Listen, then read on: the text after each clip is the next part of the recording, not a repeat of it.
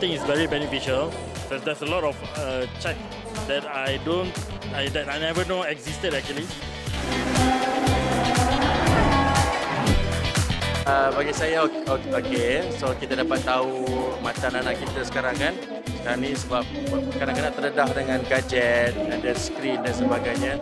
So dengan hari ini, saya boleh dapat tahu uh, mata anak saya actually memang kena perlu perlu pakai spek mata lah, boleh tahu lah.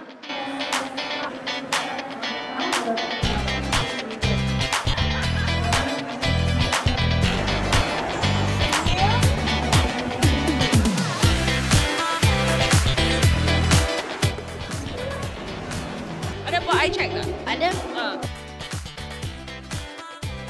I feel like it's a really good initiative for especially the public to raise awareness and to get more in-depth information about their eyes.